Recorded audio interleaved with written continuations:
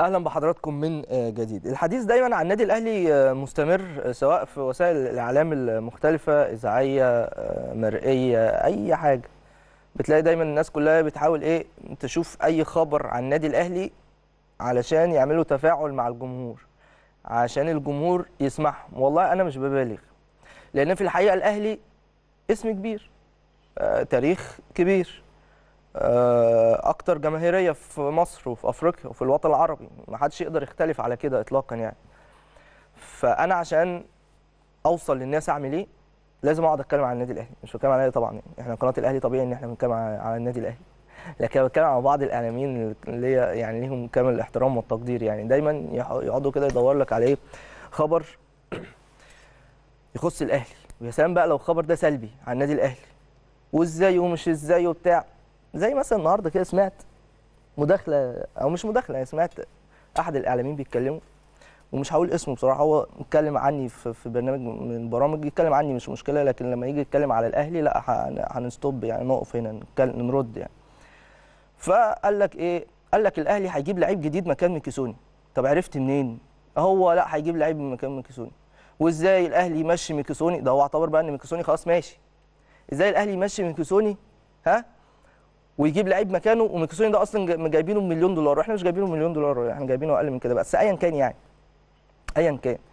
ف والأهلي قبل كده مشى أليو آه، بادجي ومشى والتر بواليا وكلام من ده. هو بيبص إن هم الناس دي مشيت.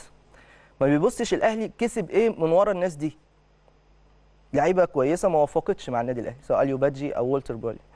ما ما وفقوش بس عندنا إدارة تسويقية مميزة جدا جدا في النادي الأهلي. وإدارة تعاقدية مميزة جدا جدا في النادي الأهلي. بصراحة يعني الناس آه وارد أي فريق في العالم أي فريق في الدنيا ممكن يتعاقد يتعاقد مع مجموعة من اللاعبين. مثلا ينجح ثلاثة أربعة وواحد ما يكونش موفق. ده طبيعي جدا في كل الأندية في العالم كده مش الأهلي بس كل الأندية في العالم كده. أنا جاي لك في الكلام. ماشي؟ بس إيه؟ بيتصرفوا بيعرفوا إن هم يخرجوا. في ناس بتخسر من ورا اللعيبة دي وفي ناس بتكسب. لحد دلوقتي بصراحة الأهلي لما بيجي يطلع لعيب إعارة من اللعيبة الل- التي لم توفق مع الفريق بيطلع الإعارة بمبلغ حلو. وكمان لو في نية للبيع بمبلغ كبير. لما تيجي تقارنه بسعر شرائه هتلاقي إن الأهلي كسبان. يعني في كل الأحوال الأهلي ما بيخسرش. هل هل هو الأهلي بس كده؟ لا في بعض الأندية الشاطرة اللي بتعرف تعمل كده بس منهم الأهلي. في بعض الإدارات التسويقية الشاطرة اللي بتعمل كده منهم إدارة التسويق في النادي الأهلي. اللي بتقدر تتعامل اللي بتقدر تجد حلول اللي بتقدر دايما تحط الأهلي في موضع الفائز أو المنتصر أو ال- النادي اللي بيقدر يكسب من أي حاجة حتى لو صفقة ما وفقش فيها. وده طبيعي في الدنيا كلها. لكن ليه وليه بقى؟ الراجل اعتبر ان ميكوسوني فشل رغم ان ميكوسوني ما بقالوش 3 4 شهور ما كملش 4 شهور في الأهلي وما لحقش يلعب ولسه هيلعب ولسه هيشارك وهيكسر الدنيا بإذن الله. وارد إنه يوفق وارد إنه ما يوفقش لكن ليه بنقدر البلاء قبل وقوعه يعني زي ما بيقولوا كده يعني؟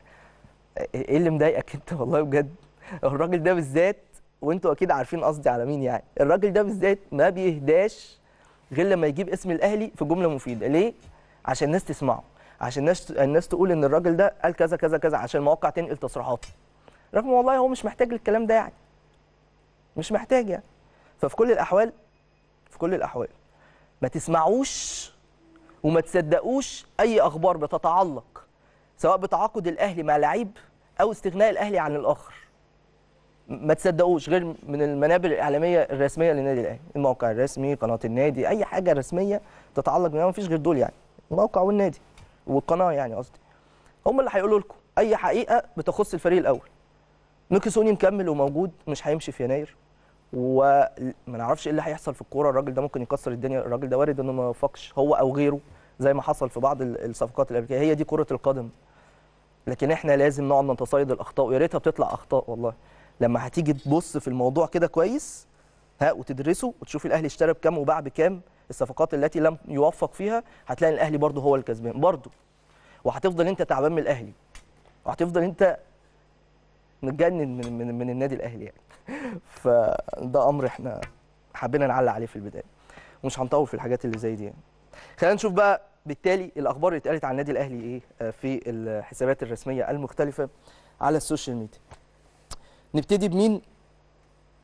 تعالوا نبتدي ب سبورت 360 واللي بيقولوا إيه؟ ده حسابه على تويتر نشروا آه، 14 اسم أو 14 لاعب هيغيبوا عن النادي الأهلي في كأس الرابطة. في ظل هذه الغيابات ما هو التشكيل الامثل ده بيطرحوا سؤال يعني في ماتش ال- الجونة. فأنت عندك مين بقى؟ عندك أكرم توفيق حمدي فتحي عمرو السولية محمد شريف ايمن أشرف الشناوي أليو ديانج بدر بنون علي معلول آه، ميكيسوني بسبب كورونا هو بيرسي تاو واحمد عبد القادر وياسر إبراهيم وأحمد نبيل آه، كوكا. ومعاهم ربيعة كمان دلوقتي. فبالتالي هم مش 14 بقوا 15 فبرضو أنا بطمن حضراتكم عندنا لعيبة تقدر تلعب وتقدر تكسب وتعمل أداء كويس جدا مع الجهاز الفني المحترم المحترم اللي موجود في النادي الأهلي يعني. فده خبر من ضمن الأخبار. خلينا نخش على خبر آخر وهو من الوطن سبورت. والكابتن سيد عبد الحفيظ يظهر العين الحمراء للاعبي الاهلي بسبب كورونا. هو دور وواجب طبيعي جدا من كابتن سيد عبد الحفيظ مدير الكرة في النادي الأهلي. يا جماعة في تحذيرات خلوا بالكم الفيروس متفشي دلوقتي وفعلا يعني نتمنى السلامة للجميع يا رب. وبنشوف حالات إصابات كتيرة جدا جدا. لكن في نفس الوقت أنت لازم تعمل كل اللي عليك تاخد بالأسباب تمام؟ وتعمل إجراءاتك الاحترازية. فدايما في مراجعة من الجهاز الفني والإداري للنادي الأهلي مع اللعيبة. يعني خلوا بالكم بلاش خروجات الفترة دي. خلوا بالكم بلاش مناسبات الفترة دي عشان نتجنب الإصابة بالفيروس عشان عندنا بطولات مهمة. أهمها كأس العالم للأندية اللي بنتمنى إن الأهلي يظهر فيها بمظهر كويس رغم الظروف الصعبة واللي جاية عكس طموحات آه، جماهير النادي الأهلي. لكن تقدر تعمل حاجة. فأنت حاول تحافظ على نفسك. عشان لما هتحافظ على نفسك هتحافظ على فرقتك وتفرح جمهورك. فهي تحذيرات طبيعية من كابتن سيد عبد الحفيظ يعني. مش في الفترة دي بس بقى لها فترة آه، كبيرة. طيب خلينا نخش على اللي بعده. والوطن آه، سبورت برضو وبيتكلموا على إن الأهلي يحدد موعد السفر إلى الإمارات للمشاركه في كأس العالم للأندية وهو الموعد المبدئي 31 آه، يناير إلا إذا قرر مستر بيتسو موسيماني إن هو يسافر بدري عن كده شوية يكون في معسكر أو حاجة. أنا بستصعب الموضوع ده. إلا في حالة لا قدر الله لو منتخبنا الوطني خرج بشكل مبكر وده إن شاء الله مش هيحصل يعني فهنشوف الأمور هتصفر عن إيه في آه، النهاية بخصوص موعد السفر النهائي الخاص بالنادي الأهلي للإمارات. طيب يلا كورة كمان بيتكلموا على تشكيل بعثة النادي الأهلي بيقولوا الكابتن محمود الخطيب هيكون رئيس لل- للبعثة وده أمر طبيعي جدا جدا أنت بتشارك في بطولة آه، كبيرة وبيقولوا كمان مين الأسماء اللي هتكون آه، موجودة. فبالتالي آه، هقول لحضراتكم الأسماء والاداره التنفيذية أو ممثلي الإدارة التنفيذية في النادي الأهلي اللي هيكونوا موجودين. طبعا كابتن محمود الخطيب ده يعني بشكل مبدئي لسه ما تمش الإعلان بشكل رسمي. الكابتن محمود الخطيب هيكون رئيس آه، لل- للبعثة. تمام؟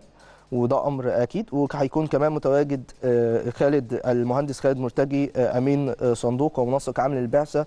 وده طبعا عنده خبرات المهندس خالد مرتجي نظرا لخبراته الكبيرة وأنا يعني عشت معاه في قطر في كأس العالم الأخيرة. الراجل عنده علاقات ممتازة جدا بالاتحاد الدولي وبيتواصل بشكل مميز وواجهه أكثر من رائعة بالنسبة لل- للنادي الأهلي يعني.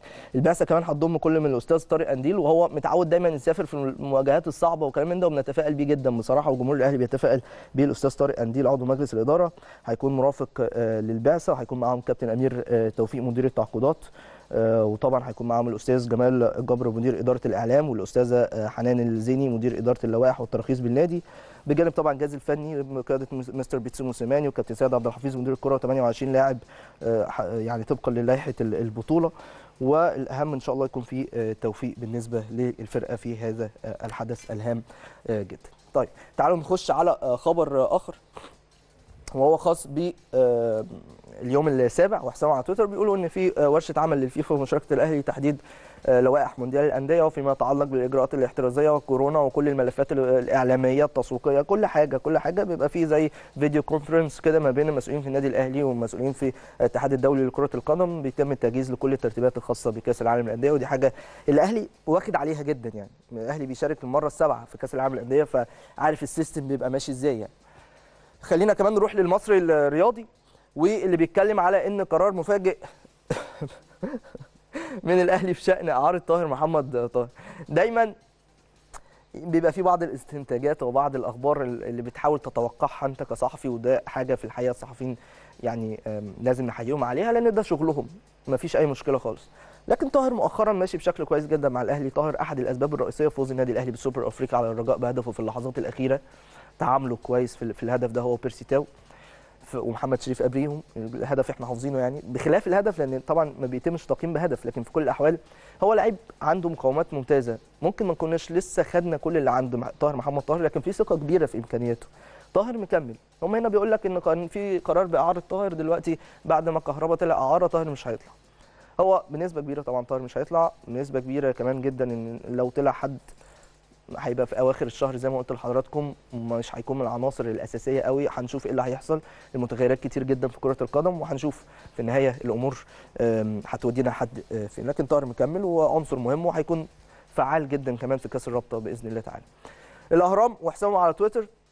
بيتكلموا عن نجم النادي ال- الأهلي آه، محمود عبد المنعم كهربا إن هو خلاص هيسافر آه، بكرة الثلاث لبدء رحلته مع آه، فريق هاتاي سبور التركي اللي بيحتل المركز الخامس في الدوري التركي وماشيين بشكل كويس السنة الثانية ليهم في الدوري الممتاز هناك في تركيا.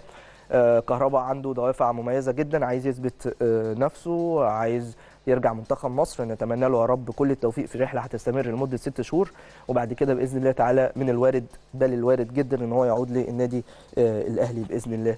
عشان يكمل مشواره هو كان جدد سنة إضافية مع النادي الأهلي قبل الأعارة.